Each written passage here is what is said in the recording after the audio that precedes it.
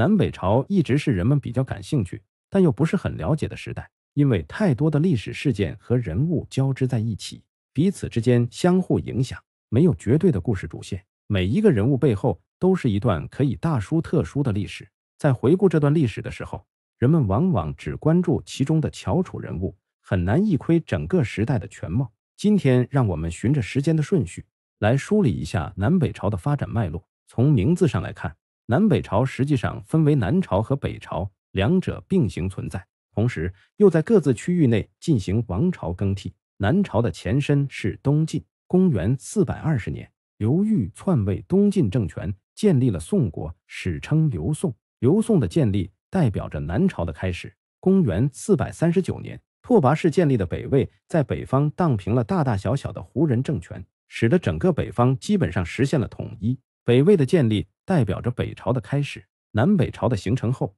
彼此之间相互攻伐，不同时期的边界线也不一样。与此同时，南北朝内部也发生着政权更替。其中，南朝分为宋、齐、梁、陈四朝，北朝包括北魏、东魏、西魏、北齐。北周五朝，史学界普遍认为，南北朝正式的开始时间为公元四百二十年，结束时间为公元五百八十九年，历时一百六十九年。公元四百二十年和四百二十一年，刘宋和北魏并未发生大规模的攻伐，此时的刘裕正在忙于梳理内政，而北魏拓跋氏则将重心放在统一北方上。公元四百二十二年，刘宋的开创者刘裕去世，作为南朝第一帝。在临死之前，他本想组织一次大规模北伐，完成南北统一大业，但上天没有给他机会。在刘裕去世当年，刘宋内部围绕着皇位展开了激烈的争夺。北魏皇帝拓跋嗣见机而动，对刘宋发起了攻击，并成功将势力范围推到了黄河南部。拓跋嗣是个偏执者，为了完成统一大业，他几乎把所有的心思都放在国事上面，高强度的工作击垮了他的身体。公元四百二十三年便去世，享年仅三十岁。当刘宋政权还在为皇位继承内讧的时候，北魏很顺利地完成了皇位更替。拓跋嗣的儿子拓跋焘继承了他的大业。可喜的是，拓跋焘在文韬武略方面更胜他父亲一筹。在刘宋发生内讧之际，本是北魏南下的好时机，但拓跋焘并没这么做，并不是因为他不想，而是北魏在北方有一个更强大的对手。柔然国四百二十四年，柔然国出兵大举南下进攻北魏。刚登上皇位的拓跋焘准备打一场立威之战，决定御驾亲征，率领两万余人北上拒敌。此时的拓跋焘还是毛头小伙，勇气方面不欠缺，但实战经验不足。第一次御驾亲征就被柔然大军团团围住，差点折戟。后来拓跋焘及时调整了策略，历经千难万险，将柔然国击退。此时的刘宋王朝也结束了皇位争夺战，笑到最后的人是刘义隆。经过惨烈的宫廷斗争，他成为了刘宋王朝的最高统治者。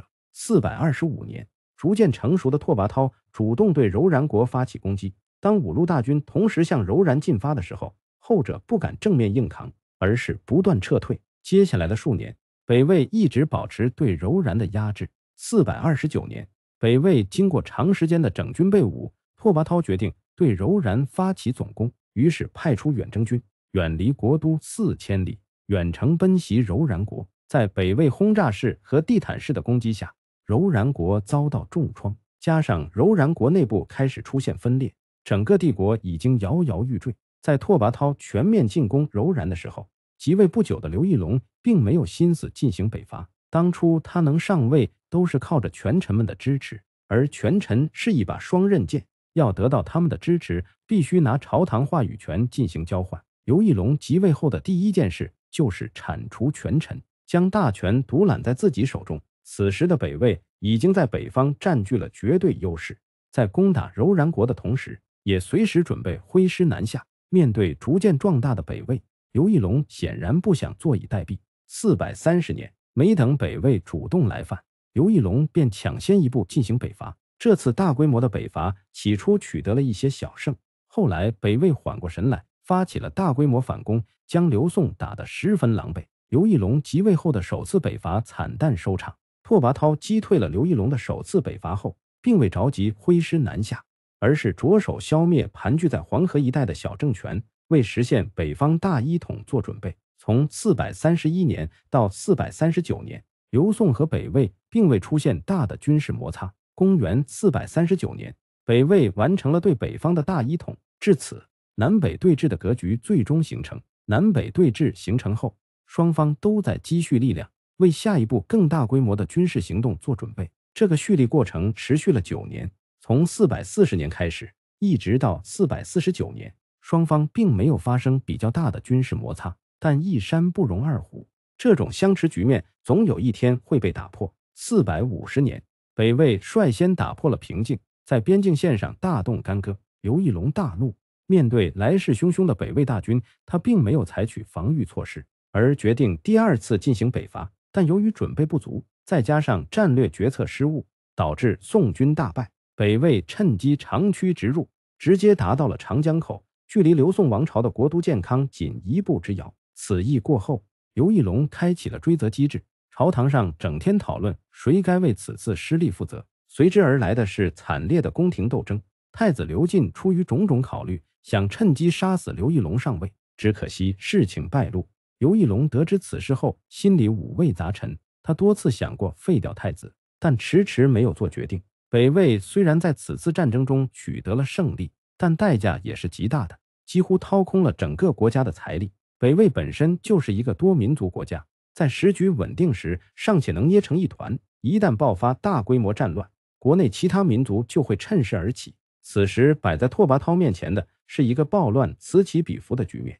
为了平定国内的暴乱，拓跋焘被折磨得心力交瘁。就在此时，一名叫宗爱的太监因为和太子不和，于是，在拓跋焘耳边进献谗言，说太子正在结党营私，试图篡位。拓跋焘听后十分生气，他没有进行深入调查，就将太子党羽一网打尽，致使太子成为光杆司令，整天郁郁寡欢。后来一病不起，没过多久就去世。太子的死让拓跋焘十分懊悔，知道自己受了谗言的蛊惑，因此。准备拿太监宗爱开刀，宗爱害怕自己被杀，于是先下手为强，于四百五十二年发动了政变，直接杀死了拓跋焘。拓跋焘的死讯传到刘宋王朝，刘义隆认为这是拿下北魏的好机会，于是发动了第三次北伐。这次北伐比上一次更加潦草，宋军走到半路，感觉不是北魏的对手，还未与对方交手，就选择了撤军。此前，太子刘进已经对刘义隆起了杀心。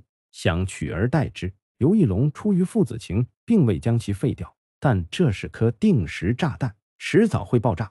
四百五十三年二月，太子刘进再次发动政变，率领军队直接攻入刘义隆寝宫，将其杀死。谁也没想到，拓跋焘和刘义隆在战场上斗了一辈子，都未曾伤及对方分毫，最后却不约而同的死于非命，着实让人唏嘘。刘进虽然篡位成功。但此举引起了王公贵族和大臣们极大的不满。他在皇位上坐了不足三个月，就被三弟刘俊赶下来，下场和他的父亲一样，当场被杀死。眼看刘进得到了应有的报应，大臣们本应该长舒一口气，殊不知这只是另一场噩梦的开始。在刘义隆的几个儿子当中，刘俊是最不受重视的。如果太子刘进能够按部就班的等待刘义隆驾崩，刘俊这辈子都没机会染指皇位。刘俊是通过弑兄得到皇位的，他害怕其他兄弟会效仿自己的方式发动政变，于是大开杀戒，几乎把所有的血亲兄弟全部杀死。一时间，刘宋王朝人头滚滚。作为刘宋王朝的老冤家，北魏宫廷也并不安静。太监宗爱杀死拓跋焘之后，扶持他的儿子拓跋余为皇帝，但拓跋余是个不听话的人，而且人品极差，经常和宗爱对着干。宗爱眼见拓跋余不受控制，居然又把他给杀了。作为一个太监，在朝堂上如此无法无天，让一众大臣们看不下去了，于是联合起来制衡宗爱，并拥立拓跋浚为皇帝。拓跋浚的父亲就是拓跋焘的太子，他父亲就是间接被宗爱害死的。所以，拓跋浚上台后，第一件事就是将宗爱五马分尸。南北两朝同时迎来了新皇帝，这两人的执政时间基本上是重合的。拓跋浚于四百五十二年上台，四百六十五年去世；而刘俊于四百五十三年上台，四百六十四年去世。两人上台后，并没有效仿上一辈进行大规模攻伐，而是基本上处于相安无事的状态，甚至双方之间还开启了贸易往来。拓跋浚不是个重视武力的皇帝，而是将更多的精力放在安抚民生上面。他试图去除北魏内部的矛盾，重新振兴国家，但由于国家内部矛盾过于严重，直到去世都未曾创造盛世。拓跋浚虽然算不上明君圣主，也没为国家带来多大的提升，但整体没怎么折腾。相比之下，刘俊就逊色很多。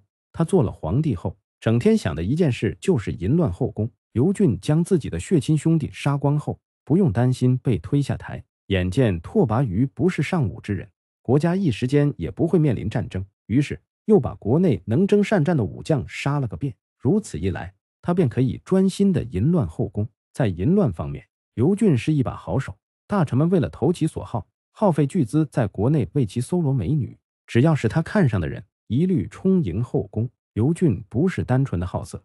他为了追求刺激，做出了很多突破人伦底线的事情，甚至与自己的生母乱伦，给自己的亲爹戴了绿帽子。放眼全世界，刘俊的淫乱表现都是独一档的存在。拓跋余和刘俊相继去世后，他们的下一代登上了政治舞台，继承刘俊皇位的是他的儿子刘子业。也许是从小就在父亲的淫乱生活中耳濡目染，刘子业即位后，不但继承了父亲的淫乱传统，而且。在此基础上玩得更花，刘俊和自己的生母乱伦，刘子业则和自己的亲姐乱伦，两人玩得不亦乐乎。当年刘俊将自己的血缘兄弟杀了个遍，只有寥寥可数几个对皇位没威胁的人才得以幸存。刘子业上台之后，把他父亲没有杀绝的人再次列出清单，准备一一清算。刘子业在杀人的时候不满足于一刀毙命，而是喜欢将人慢慢玩死。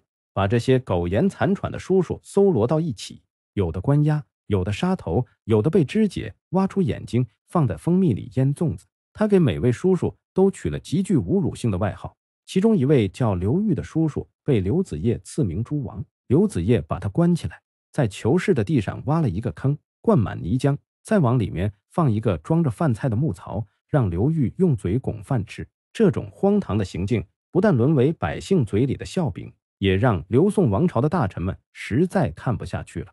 刘子业在位一年多，大臣们就联合起来发动政变，将其杀死，然后扶持诸王刘裕登基。在刘子业被杀的同时，北魏朝廷也发生了变化。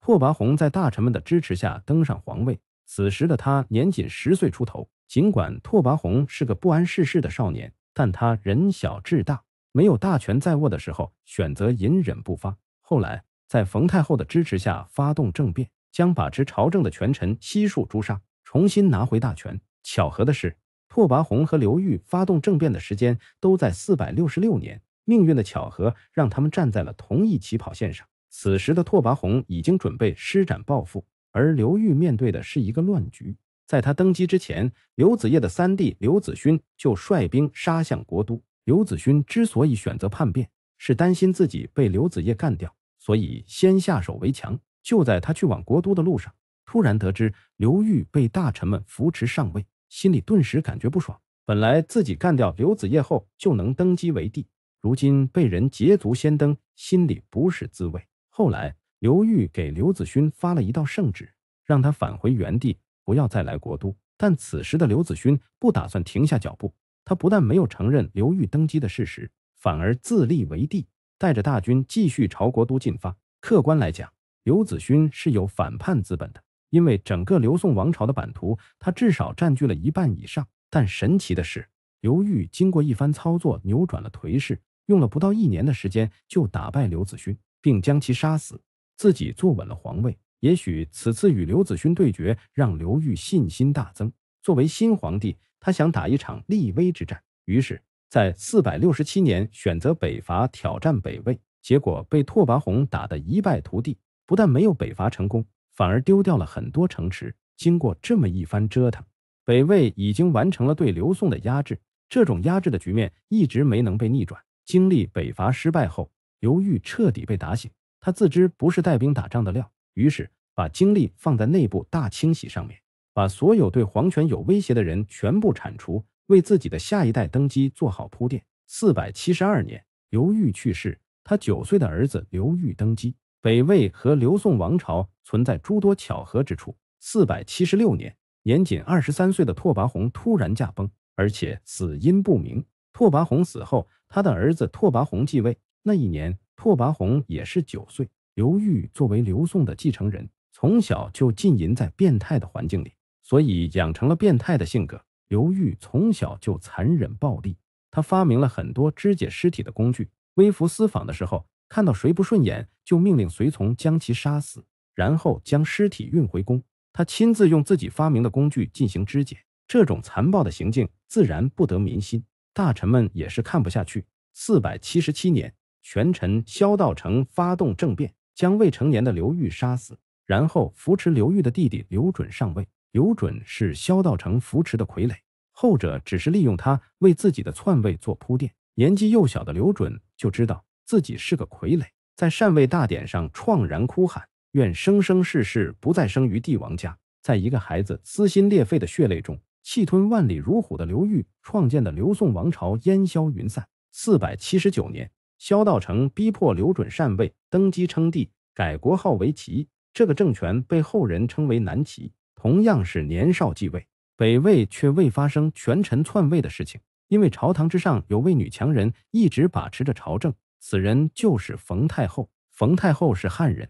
执政期间锐意革新，在北魏大规模推行汉化改革，为游牧色彩浓厚的北魏建立了农业大国的雏形，也为北魏顺利平稳地变成一个中原化的封建国家奠定了坚实的基础。四百八十二年，南齐首任皇帝萧道成去世，其子萧泽继位。这两个人都是贤君，喜欢搞建设，不愿意打仗，与雄踞北方的北魏大致保持着友好往来。尤其是萧泽在位期间。南齐还出现了一个短暂的盛世，史称永明之治。四百九十年，冯太后去世，拓跋宏开始主政。四百九十三年，萧泽去世，皇太孙萧昭业继位。同年，在拓跋宏的主持下，北魏迁都洛阳，实施了一场史无前例的大改革，史称孝文帝改革。拓跋宏是鲜卑人，但是在冯太后施政风格的影响下，他早已变成了一个汉化君主。迁都之后，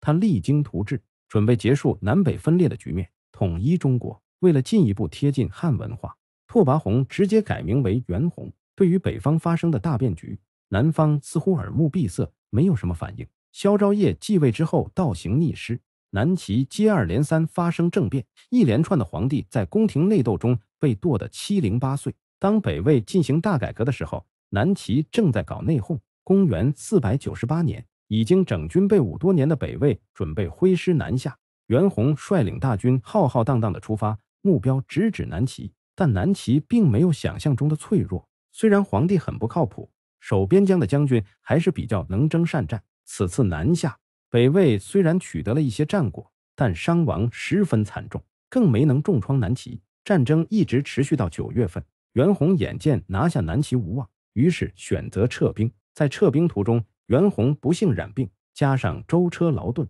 袁弘最终没能支撑得住。四百九十九年春天，便撒手人寰。他的次子袁克继位登基。袁克登基后，继承了父亲的遗志，趁南齐正在内讧之际，突然发兵南下，并此次出兵成功占领了荆州、扬州、益州等地。公元五百零二年，南朝再次发生政变，此次篡位的是萧氏本家人萧衍。他登基称帝后。改国号为梁，史称南梁。作为开国皇帝，萧衍非常迷恋佛教，人们也称其为菩萨皇帝。五百零三年，萧衍发兵北上，双方在淮南一带展开了长期拉锯战，彼此互有胜负，谁都没能更进一步。这种僵持的局面，直到五百零七年才被打破。当时南梁寻得机会，一举攻破北魏的防线，大败北魏军队。此后，南梁想乘胜追击。把战线继续往前推，但北魏军队死守不退，南梁也到了强弩之末，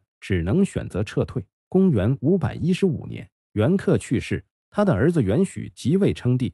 北魏并未进行韬光养晦，而是继续跟南梁对峙。双方在安徽一带剑拔弩张，大有决一死战的架势。当时，萧衍为了进一步逼迫魏军撤退，耗费巨资兴建福山堰，试图用水攻逼退魏军。此举虽然击退魏军，但因为过于劳民伤财，致使南梁国力迅速枯竭。萧衍只得下令停止北伐，撤退后的魏军虽然暂时脱离了战争泥沼，但朝堂内部再次出现了内讧。由于元许即位时尚且年幼，朝政由其母亲胡太后把持，同样是把持朝政的女强人，胡太后比之前的冯太后逊色太多。再加上连年征战，将国力消耗殆尽，此时的北魏已经风雨飘摇。当初北魏建国时，为了抵御北方的柔然大军，故在边疆地区设立了一支庞大的边防军。统领大军的人来自鲜卑贵族，而且是能征善战之士。随着柔然的衰落，边防军的地位渐渐有所下降。袁弘推进汉化改革的时候，老派贵族扎堆的边防军极力反对，袁弘说服不了他们。干脆选择无视，把他们扔在边疆，还设定了一些政策进行打压。五百二十三年，柔然发生大饥荒，为了生存，柔然人在阴山一带烧杀抢掠，抢光了边防军的军用物资，边防军活不下去，请求朝廷给予支援。胡太后本不想给，但念在边防军曾经戍边有功的份上，只是随便拨付了一点物资。边防军本来就对朝廷不满，胡太后这番操作。无异于火上浇油，把边防军不满的情绪推到极致。他们觉得已经被朝廷抛弃，于是纷纷竖起反旗，并表示脱离朝廷管制。当地有些豪强大族也趁机招兵买马，扩充势力。其中有一个土豪的势力极为庞大，他叫尔朱荣。当暴动平息时，他已经成为北魏境内首屈一指的大军阀。尔朱荣手下有三个战将：高欢、宇文泰、侯景。这三员大将。不但是北魏的掘墓人，还成为王朝开创者。侯景直接击垮了南梁，高欢是东魏的开创者，宇文泰则创立了西魏。这三个人都是有定国之能的枭雄。尔朱荣在世的时候，他们却都得俯首帖耳。尔朱荣御下手段之狡诈凶狠，由此可见一斑。五百二十八年，袁许密谋联合尔朱荣，率军到洛阳诛杀胡太后及其党羽。胡太后抢先下手，毒死袁许。尔朱荣随后打着为袁许复仇的旗号，一路长驱直入，打进洛阳，并擒获胡太后，然后将其沉入河中淹死。尔朱荣打进洛阳后，立元子攸为皇帝。紧接着，他以给元许召开追悼会的名义，把北魏的王公贵族全部召集在一起，然后全部屠戮殆尽。这次事件被称为河阴之变。之后，尔朱荣返回大本营太原，在朝中广布亲信。在太原遥控着洛阳的政局，河阴之变并没有将袁家子弟全部杀死。当时袁弘的侄子袁浩在尔朱荣大肆屠杀的时候，恰巧在外镇压农民起义，因此躲过一劫。但他知道洛阳肯定是回不去了，于是南下投奔梁武帝萧衍。梁武帝不但接纳了元昊，还支持他回国夺位。五百二十八年，梁武帝派遣陈庆之率领一支七千人的军队。护送元昊回洛阳夺位，并成功拿下洛阳，将国家控制权再次夺回手中。五百二十九年，元昊在洛阳称帝。尔朱荣得知此事后，大为恼怒，立马率军前去洛阳进行讨伐。面对来势汹汹的大军，陈庆之建议元昊向梁武帝搬援兵。此时的元昊还沉浸在花天酒地里，丝毫没有危机意识。他不但拒绝了陈庆之的请求，还试图断绝与南梁的联系。不久后，尔朱荣的大军便杀到洛阳，陈庆之见状撤兵南逃，而元昊直接被尔朱荣擒杀。此时的尔朱荣已经在北方横行无阻，随着他逐渐荡平其他割据势力，到了五百三十年，他已经基本上把北方诸地悉数收入囊中。元子攸虽然是在尔朱荣的拥立下称帝的，实际上就是一个提线木偶，根本没有任何实权。早就受够任人摆布的元子攸决定杀死尔朱荣，脱离他的控制。于是找了一个机会，宣召尔朱荣进宫，并在周围埋伏下刀斧手。尔朱荣没想到袁子攸有胆量杀自己，于是未带多少随从便进宫觐见。当他刚踏进宫门，埋伏好的刀斧手便一拥而上，将尔朱荣剁成肉泥。尔朱荣死后，尔朱氏大为恼怒，马上率领大军杀进洛阳，并将袁子攸一刀斩首。尔朱氏杀死袁子攸后，改立袁公为帝。尔朱荣手下的大将都是一等一的枭雄，只有尔朱荣能压制住他们。至于其他尔朱氏，他们根本不放在眼里。袁子攸一死，高欢立刻跳出来反对尔朱氏。他打着为先帝报仇的旗号，先是脱离尔朱家族，并将尔朱家族视为叛军，并宣布率军讨伐。五百三十二年四月，高欢击败尔朱家族，进入洛阳，杀死元公，另立元修为帝。当时在关中一带，还有一股势力强大的军阀，领头人叫贺拔岳，原先也是尔朱荣的战将。趁着尔朱荣死后的大混乱局面割据关中，表面上保持着与高欢的友好往来，因不满高欢把持朝政，元修密诏贺拔岳讨伐高欢。高欢抢占先机，在关中策动内乱，杀了贺拔岳，派遣侯景到关中接管贺拔岳的军队。侯景听后喜出望外，以为白捡了一支军队，满心欢喜地奔赴关中去接手队伍。可走到半路，就传来不好的消息。贺拔岳的部下已经拥立宇文泰做了领袖，侯景得知后只能败兴而归。公元五百三十四年，元修趁高欢不备逃出洛阳，直奔宇文泰的大营。元修的妹妹是宇文泰的老婆，基于这层关系，元修才敢放心的投奔宇文泰。高欢眼见元修逃走，并未派人去追，而是在皇室里选了一个人作为傀儡皇帝，高欢则完全掌控大权。这个政权史称东魏。元修投奔宇文泰后，以为从此安全无忧。但宇文泰不是善类，在权力面前，什么事都能做出来。他直接杀掉元修，另立傀儡皇帝元宝炬。这个政权史称西魏。自此之后，北魏彻底宣布灭亡。高欢控制的东魏和宇文泰控制的西魏开启了长期的对峙。在双方对峙的过程中，宇文泰略高一筹，不但抵御住东魏的进攻，反而将地盘不断做大。五百四十七年初。一代枭雄高欢去世，临终时嘱咐儿子高澄务必盯住居心叵测的侯景。这个人有用，但是不好用。不出高欢所料，他尸骨未寒，侯景就起兵叛乱，并打算联合西魏的宇文泰一起灭掉东魏。然而，侯景想错了两件事：其一，高澄不像他想的那么弱；其二，侯景追随高欢的这么多年里，早就把西魏得罪了，宇文泰对他的戒心很重。侯景被东魏和西魏逼得走投无路，只好仓皇逃奔梁武帝。当侯景来到南梁的时候，梁武帝萧衍已经当了四十六年皇帝。在梁武帝统治的前半期，他励精图治，改善民生，将国家治理得井井有条。但在执政的后半期，他因为过于迷恋佛教，于是大肆耗费国力来兴办佛事，国库已经被掏空。此时的南梁已经民不聊生，百姓们怨声载道。佛家本来是体恤众生，结果梁武帝为了信佛，大肆压榨百姓。信佛信到这个程度，只能说梁武帝已经成魔。侯景来到南梁不久，高澄派遣的追兵尾随而来，与南梁大打出手。之后，高澄提议和解，条件是交出侯景。侯景唯恐被引渡回国，于五百四十八年八月发动叛乱，囚禁梁武帝，将他活活饿死，一代佛家皇帝。最后落得个这种结局。公元五百四十九年，东魏内部发生叛乱，高澄遇刺身亡。宇文泰见东魏内乱，打算趁机到东魏劫掠一番。但高欢的弟弟高阳早就做好了准备。宇文泰见状，不战而退。高澄死后不久，高阳便撕下了面具，直接废掉傀儡皇帝，自己登基为帝，改国号为齐。此政权史称北齐。高阳是一个口碑极差的皇帝。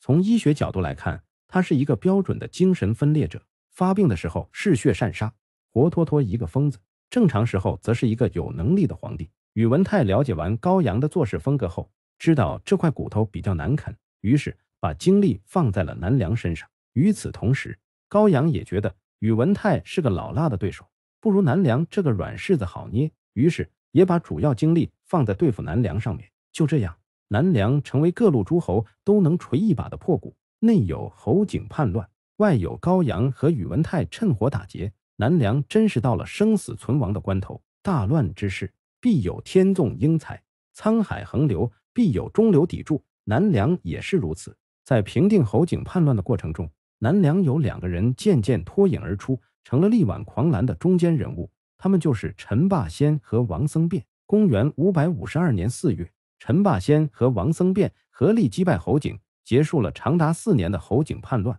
并于同年十一月共同拥立萧绎在湖北荆州为帝。萧绎的文艺修养在中国历代帝王当中是数一数二的。然而，其人心胸狭隘，狠毒暴虐，这也说明人的艺术成就和个人品性没有必然的关联。萧绎登基之后，心思完全不在治理国家上，而是利用身份之便，请国内各类书画家到宫里赴宴。这种事放在盛世或许能得到褒奖，但在老百姓吃不上饭的乱世，这种行为只会招来唾骂。萧绎一方面在宫中玩乐，一方面大肆屠杀自己的宗族兄弟，防止他们威胁到自己的地位。在萧绎的管理下，南梁不但没有好转，反而激起各地发生民变。为了平叛农民起义，萧绎派陈霸先驻守镇江，派王僧辩驻守建康，时刻提防农民起义军对都城形成威胁。公元五百五十四年，西魏眼见南梁大限将至。派出大军前去讨伐，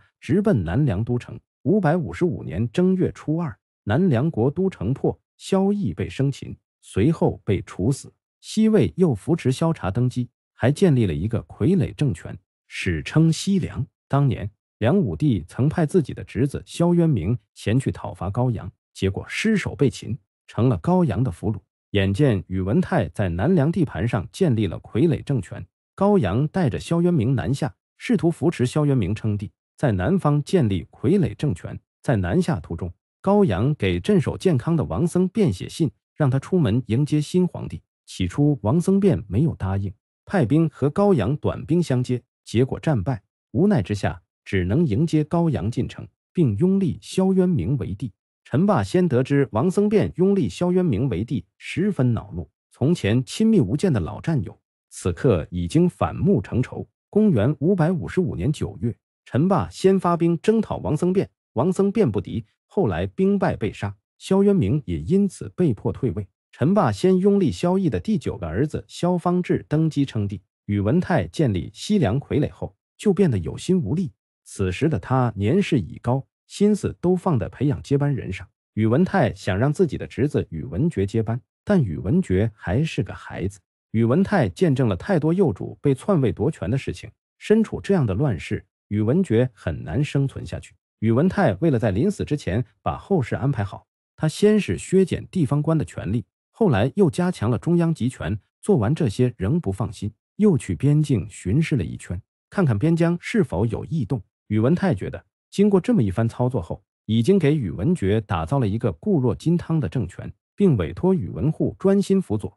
徐图渐进，统一大业。公元五百五十六年十月，宇文泰去世。次年二月，宇文觉废掉西魏的傀儡皇帝，改称天王，改国号为周，史称北周。宇文泰的担心是对的，把年幼的宇文觉放在乱世，实则害了他。不久后，手握大权的宇文护逼迫宇文觉禅位，禅位后的宇文觉随即被杀死。宇文觉被杀后，宇文护拥立宇文泰的长子宇文毓继位。也是在同一年，陈霸先逼迫南梁皇帝萧方智禅位，随后登基为帝，改国号为陈，史称南陈。公元五百五十九年，陈霸先去世，临死之前把皇位传给侄子陈倩。同年，高阳饮酒过量身亡，他的儿子高殷继位。高殷的皇帝位置还没有坐热，就被高演通过政变篡位。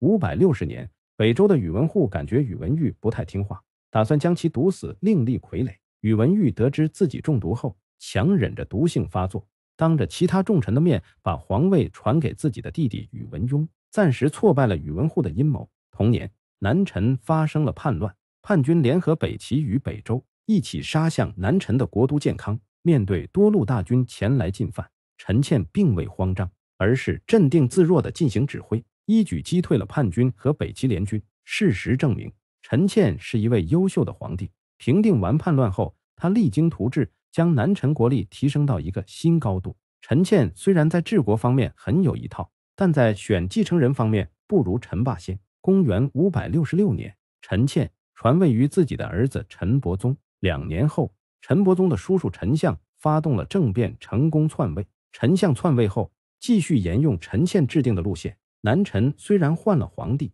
但整体国力并没有下降。有相似情况的还有北齐。当时高演从侄子手中篡取皇位后，并没有大肆挥霍，而是继续励精图治，给北齐带来了短暂的光明。但高演仅在皇位上坐了一年，就因病去世。高演死后，北齐彻底沦为昏君表演的舞台。公元五百七十二年，称帝多年的宇文邕想摆脱宇文护的束缚，此时的他已经培植了自己的势力。于是，在朝堂之上发动政变，当着大臣们的面亲手杀死了宇文护，随后将宇文护的党羽一起剿灭。杀死宇文护之后，宇文邕联合南陈一起攻打北齐，两家试图瓜分北齐的地盘。公元五百七十三年，南陈出师北伐，两年后将淮南地区纳入版图。五百七十七年，北周消灭了北齐。北齐亡国后，宇文邕紧接着把矛头指向了南陈。对此发起了猛攻，一时间南陈难以招架，处在崩溃边缘。可就在此时，宇文邕突然去世，继位的宇文赟是个昏庸无能之辈，没有心思领兵打仗，更没有能力拿下南陈。宇文赟登基不久，大权就完全落在杨坚手中。此时的杨坚忙着篡位，也无心继续讨伐南陈。南陈凭借就这样躲过了一劫。公元五百八十一年。准备依旧的杨坚成功篡位，改国号为隋。登基后的杨坚并未着急南下攻陈，此后的几年里，他忙着招抚人心，平叛国内叛乱。在这段时间里，陈相去世，他留下陈叔宝作为接班人。陈叔宝是一个极不靠谱的人，他亲手把南陈送入了深渊。经过几年的安抚，杨坚见大局已定，于是着手开始推进大一统事业。从公元五百八十七年到五百九十年。他先是废掉了傀儡国西凉，又消灭了南陈，然后荡平了岭南一带，至此完成了大一统事业，结束了自从东晋南迁以来长达二百七十三年的分裂状态。中国再次迈入大一统的格局。